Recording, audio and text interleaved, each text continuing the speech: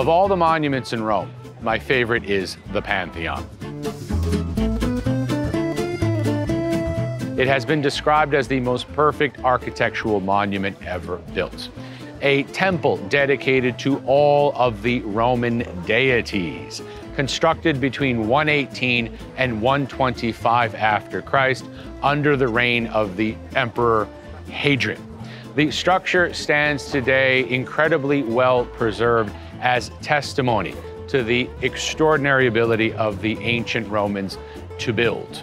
And in fact, the Pantheon, which is essentially a rotunda, a large cylindrical cella, or naos, which essentially housed the statues of all the gods, with a massive porch situated on the front.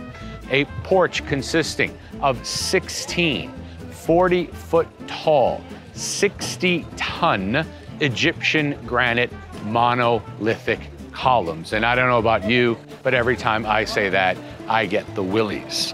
Try to wrap your head around what it means to quarry, transport, and erect columns as large as these. And those 16 columns support the pediment, which is that triangular crown that you see up above, upon which we have the ancient dedicatory inscription to the Admiral Marcus Agrippa long dead when the structure was built, but the patron of the original structure.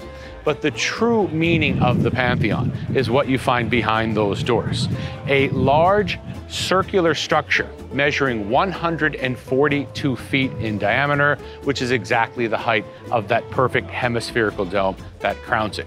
A dome that is pierced by an oculus which measures 30 feet across and through which rain and sun and snow actually pass. And when you step into the Pantheon, you are stepping into architectural perfection.